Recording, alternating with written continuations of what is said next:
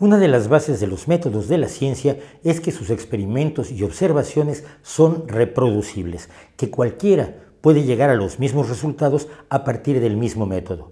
Cuando esto no ocurre, suenan todas las alarmas.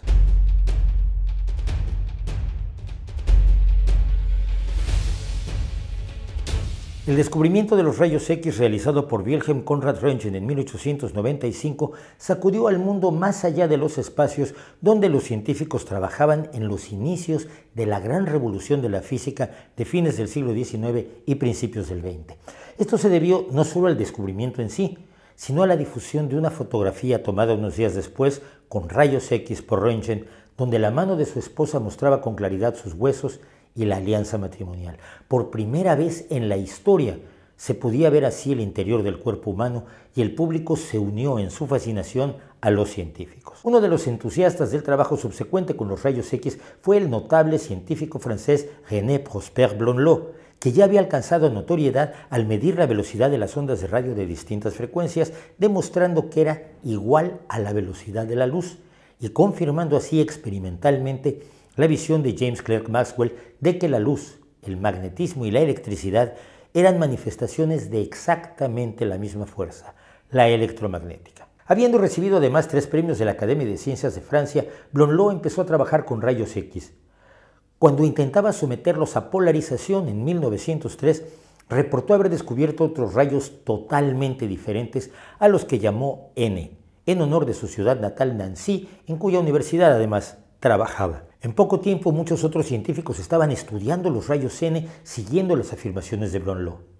Pero los rayos X se habían detectado mediante mediciones y sus efectos eran espectaculares, como lo demostraba la fotografía de la mano de Anna Bertha Röntgen, eso que hoy llamamos una radiografía. Pero los rayos N no se detectaban así. Era necesario ver un objeto en condiciones de oscuridad casi total y entonces al surgir los rayos N se veía mejor. Por ejemplo, una pequeña chispa producida por dos electrodos cuya intensidad aparentemente aumentaba en presencia de los rayos N. Irving Langmuir, ganador del Premio Nobel de Química, mencionaba otro procedimiento para producir rayos N. Se calentaba un alambre en un tubo de hierro que tuviera una abertura y se ponía sobre esta un trozo de aluminio de unos 3 milímetros de espesor. Los rayos N saldrían atravesando el aluminio. Al caer sobre un objeto tenuemente iluminado, este podría verse mejor según Blondeau y sus seguidores. Dicho de otro modo, la presencia o ausencia de los rayos N se detectaba solo subjetivamente de acuerdo a la percepción del experimentador. Y sobre esta endeble base, en poco tiempo se desató una verdadera locura de los rayos N con afirmaciones cada vez más extravagantes. Blondeau afirmaba que los rayos N atravesaban una hoja de platino de 4 milímetros de espesor pero no la sal de roca, que podían almacenarse en algunos materiales, que una lima de acero templado sostenida cerca de los ojos permitía que se vieran mejor las superficies y contornos iluminados por los rayos N, y afirmó haber descubierto además los rayos N1, que en lugar de aumentar la luminosidad, la disminuían. Sus experiencias implicaban prismas y lentes hechos de materiales no ópticos que usaba para refractar y difractar supuestamente los rayos N. Un biofísico, Augustin Charpentier, produjo una abundante serie de estudios sobre los rayos N, llegando a publicar siete artículos científicos en un solo mes sobre el tema. Entre sus descubrimientos, que los conejos y las ranas emitían rayos N y que estos aumentaban la sensibilidad de la vista, olor, sabor y audición en los humanos. Se afirmó que tenían, por supuesto, propiedades terapéuticas, incluso que los rayos N emitidos por la materia viviente eran distintos de alguna manera de los otros y se bautizaron como rayos fisiológicos. Pero no todo era entusiasmo.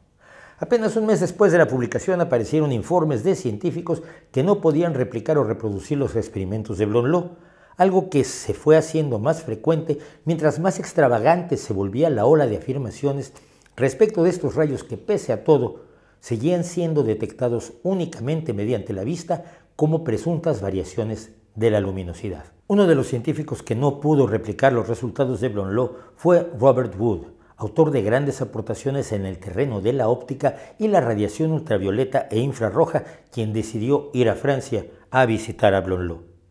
Según el relato de Langmuir, Blondeau demostró a Wood las fotografías de la variación en luminosidad de un objeto supuestamente por causa de los rayos N, pero Wood pudo determinar que las condiciones en que se habían tomado las fotografías eran poco fiables. Luego Blondeau le intentó mostrar cómo un prisma de aluminio refractaba los rayos N, permitiendo ver los componentes de dichos rayos. En un momento de la demostración que se llevaba a cabo en una habitación oscura, Wood quitó el prisma de aluminio del aparato, pese a lo cual Blondeau afirmaba seguir viendo el espectro de los rayos N.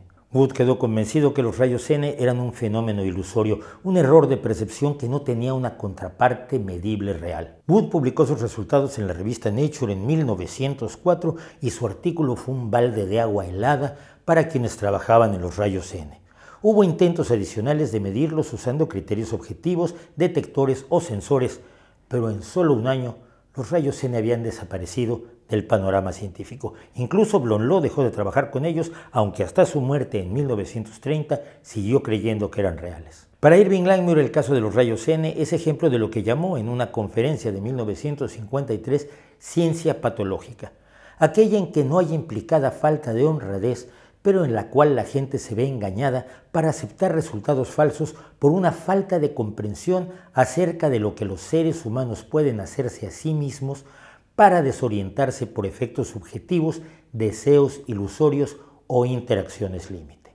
Es un relato útil para que tanto científicos como público en general seamos cautos ante afirmaciones extraordinarias, aunque provengan de científicos respetados que, como todo ser humano, pueden equivocarse.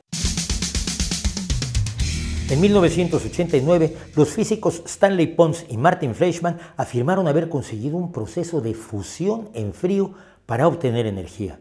Nadie pudo reproducir sus resultados y ambos optaron por abandonar la comunidad científica para seguir trabajando en espacios pseudocientíficos donde nunca pudieron tampoco reproducir sus resultados. Lo mismo ocurrió con la supuesta demostración de Jacques Benveniste de que el agua tenía memoria de los materiales que había tenido disueltos. Pese a todo, hay gente que sigue creyendo en la fusión fría, la memoria del agua y los rayos N.